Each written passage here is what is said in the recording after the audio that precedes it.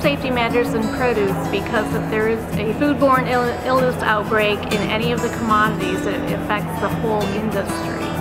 I think that produce safety matters because it's actually more than about public health and food safety for consumers, but really about market access, business viability, and efficiency operations for our industry.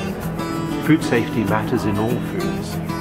You know, it's, it's a responsibility we have to every customer that food safety is a commitment. Food safety is really important for economic development, obviously for the public health um, concerns of our consumers and our personal families. Food safety matters, I think, in all foods because people eat every day.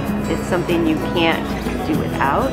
And so food safety is important because you have to eat and you want it to be safe. Um, the impact to public health is extreme um, when something goes wrong. Um, the impact on our health system and the country as a whole.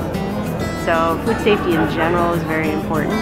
In crops like produce, it's important because these crops are often eaten raw and um, there's no kill step. So we need to be cognizant of everything we're doing during production because it does not have a kill step like some processed food.